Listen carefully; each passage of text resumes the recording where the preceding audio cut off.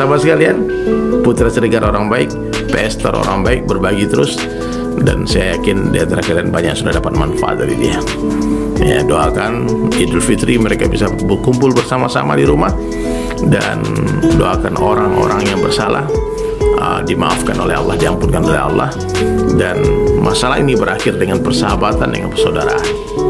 Halo Sobat Fakta Bang Pin, ketemu lagi dengan Bang Pin yang terus mengabarkan fakta viral seputar selebritas tanah air yang terus saja bikin berita dan dengan berita mereka tetap eksis di ranah media.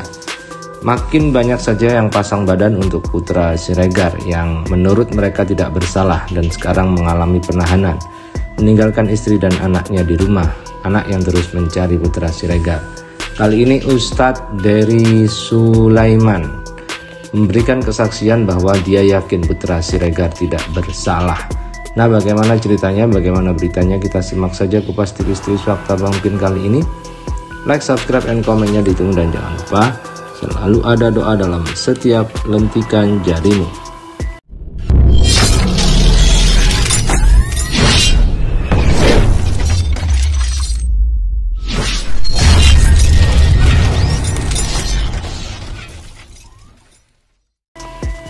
Kita lansir dari JBNN, yakin Putra Siregar dan Riko tidak bersalah, Ustadz dari Sulaiman tolong dibantu, banyak yang fitnah. Ustadz dari Sulaiman, seorang pendakwah ini bicara mengenai penahanan terhadap Putra Siregar dan Riko Valentino atas sangkaan pengeroyokan. Ustadz dari menyebut semua tuduhan itu tidak benar. Dijelaskannya Putra dan Riko datang ke lokasi karena undangan dari teman Chandrika Cika yang sedang berulang tahun di tempat hiburan malam. Oke ya, di garis bawahi, teman dari Chandrika Cika. Putra datang berdua, datang dengan sangka baik. Dia cuma pesan sate taichan. Bahkan Putra Siregar tidak merokok. Saya yakin dia tidak bersalah. Saya mengenal beliau bukan di sosmed. Kami pernah berdakwah tiga hari tiga malam di Ciwidey, saya melihat kebaikannya, sebutnya di channel YouTube-nya Rabu 27 April. Putra kata Ustadz Derry bereaksi menolong Riko saat kejadian dan tidak melakukan pemukulan. Rico Valentino dia pikir perempuan jika yang nangis disakiti, makanya dia datang. Tapi dia teriaki akhirnya dikeroyok, dipukul. Justru Putra Siregar melerai. Karena di CCTV kakinya tampak naik ke atas, dia tidak memukul. Dia hanya menghalangi orang memukuli temannya, tuturnya. Ustadz Darin mengatakan melihat putra secara langsung, termasuk yang utama rajin bersedekah. Dia juga meluruskan kabar putra yang baik hanya demi konten. Banyak yang fitnah Putra Siregar bagi-bagi cuma buat konten. Pernah dia bawa satu miliar, dia bagi-bagi tanpa direkam, sebut Ustadz Dery. Oleh karena itu dia berharap ada yang bisa membantu kedua sahabatnya dalam menghadapi kasus tersebut. Pasalnya dia menilai Putra dan Riko merupakan pribadi yang baik. Kalau ada teman yang ahli masalah hukum tolong dibantu. Masih muda, kasihan anak istrinya. Riko Valentino anak satu-satunya, kasihan ibunya. Dia babak belur dilaporkan, dia tahan sebutnya. Kemudian Ibu dan Setia Siregar menjelaskan kronologi menurut versinya. Dijelaskan bahwa Rico Valentino itu dikeroyok setelah minta maaf ke korban di dalam kafe, dilansir dari kumparan. Artis Rico Valentino dan putra Siregar tengah mendekam di penjara karena kasus dugaan penganiayaan. Keduanya dijadikan tersangka setelah dilaporkan oleh seorang pria bernama Nur Alamsyah yang dikabarkan menjadi korban penganiayaan. Namun dalam insiden yang terjadi pada tanggal 2 Maret 2022 itu, tak hanya Nur Alamsah yang jadi korban, Riko pun diketahui menjadi korban dan mengalami luka lebam di sekujur tubuh dan wajahnya.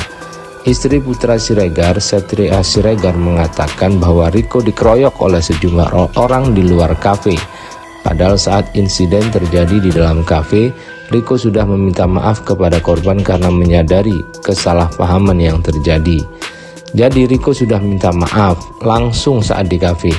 Cuma pas Riko keluar, justru Riko yang dipukul dari belakang, ungkap Setia dalam jumpa pers yang digelar di kawasan Condet belum lama ini. Septia mengatakan bahwa saat itu Riko tengah menelpon seseorang untuk minta bantuan. Namun tak disangka-sangka ia malah menjadi korban pengeroyokan. Justru yang dibilang pengeroyokan ya, yang dikeroyok itu Riko. Dia lagi telepon orang, lagi minta tolong, terus dipukul dari belakang. Ini di luar kafe, jadi di dalam Riko sudah maaf-maafan dan di luar kafe digebuk dari belakang, kata Septi. Sayang kejadian pengeroyokan itu tidak terekam kamera CCTV lantaran di luar kafe tidak ada CCTV. Hal ini pun dibenarkan oleh Ibunda Riko, Sonya, yang turut hadir dalam jumpa pers. Seharusnya ada CCTV, tapi saya tidak bisa menemukan. Kalau di kafe biasanya ada kan tutur Sonya. Sonya mengatakan saat dianiaya Riko sampai meminta ampun namun sejumlah pelaku pengeroyokan tidak henti-hentinya memukuli sang anak.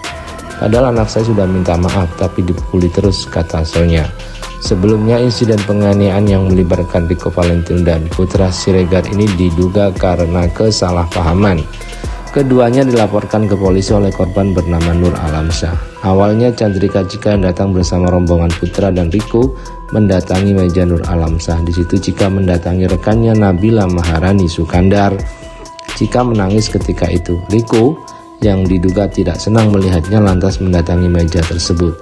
Timbul percekcokan hingga terjadi dugaan pengeroyokan. Putra selaku teman kabarnya hanya ikut membantu untuk melerai Riko. Jika sendiri di situ menjelaskan kalau Bang Putra hanya memisahkan, tapi banyak beredar bahwa Bang Putra melakukan pengeroyokan. Logikanya, dua orang lawan belasan orang. Sebenarnya siapa yang dikeroyok? Pungkas Septi. Ya, di hari penangkapan itu jam satu malam itu Putra Siregar uh, menghubungi saya melalui DM, melalui inbox Instagram. Tapi waktu itu saya sudah tertidur dan saya melihat pas mau sahur dan waktu itu saya telepon sudah tidak bisa dihubungi lagi dan pagi-pagi langsung ada berita bahwasanya beliau langsung ditahan. Saya cukup heran ya biasanya kalau masalah berantem ya masalah berantem itu um, ada penangguhan penahanan, uh, ada pengacara yang menemani, uh, uh, lawyer yang menemani, apalagi sekelas Putra Siregar ya seorang pengusaha yang masya Allah yang luar biasa suksesnya.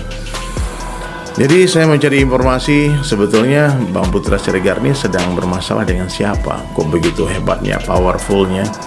Dan saya tahu uh, Ribut-ribut uh, ini sebetulnya sudah terjadi sebelum mereka berangkat umrah. Jadi sebelum Putra Siregar mengajak puluhan orang uh, selebgram ya artis-artis yang untuk pergi umrah bersama mereka bersama beliau kemudian sebelum berangkat umroh itu sudah terjadi huru hara ini.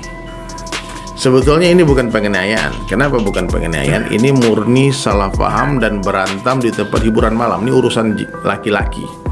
Mesti urusan laki-laki diselesaikan secara jantan, secara laki-laki. Kalau belum selesai di sana, selesaikan di atas ring. Nah, tapi uh, kenyataannya uh, sering lapor polisi. Sebetulnya yang lapor polisi duluan itu adalah Rico Val karena beliau bawa belur dan coba lihat di postingan ini ya uh, istrinya Papi Putra Siregar. Kalian lihat ya ini foto slideshow fotonya uh, bagaimana hancurnya wajahnya. Kata Bang Putra hampir mati itu dikeroyok belasan orang Nah, tapi berita yang beredar awalnya yang yang mengeroyok itu justru Putra Siregar dengan Rico Val mengeroyok oh, Alam Syah ini saya nggak tahu Alam Syah ini siapa. Ya saya nggak kenal juga nggak nggak pernah mengetahui latar belakang beliau beliau anak siapa uh, orang pekerjaannya apa umurnya